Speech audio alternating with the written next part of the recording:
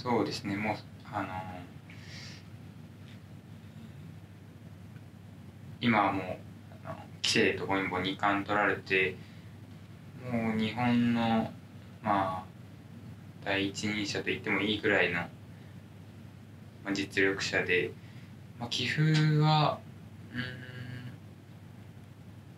まあ序盤から終盤まで本当に隙がないというかうんまあこう弱点が少ない棋士かなと思ってます。まあこう状態のいい時もあったんですけど最近はあんまり自分では納得いかない納得いけてない部分が多くて、うん、あんまり今は状態としてはいい状態とは言えなくて。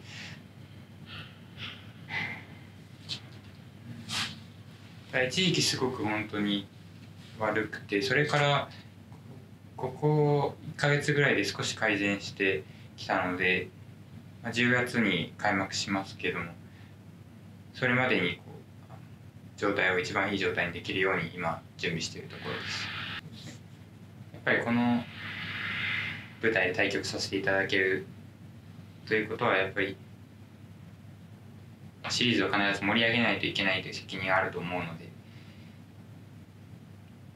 開幕までにしっかり準備して必ず皆さんに楽しんでいただける碁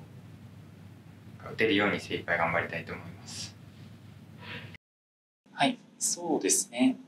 関さんはこう大舞台に強い印象はありましてはい。あの滝戦含めてもあの大きいところでやられていることがありますので今回その、まあ、リベンジマッチの舞台に立てたということは非常に光栄に思っております。そうですね基本に関してはこう AI の研究ですとかそういったところは非常にこう、まあ、難解な定石とかも深くあの知っている印象というのはあります。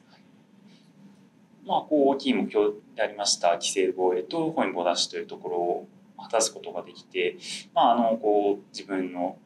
実力以上のものが出せたかなというのはあの感覚としてはありますけれども一日戦のタイトル戦に関してはあまりここ数年成績が残せていないのでそういった意味でも今回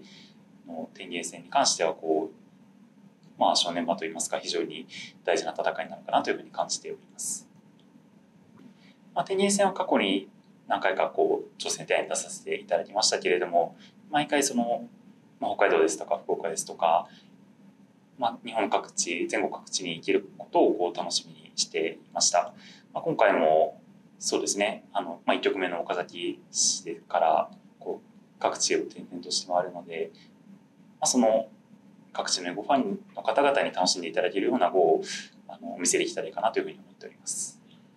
まあ、冒頭にも少し触れましたけれども関さんには結構大きいところでまあ、2年前のテニス戦も含めやられていますので、まあ、今回はその借りを返すつもりでそうですねあの内容的にはこう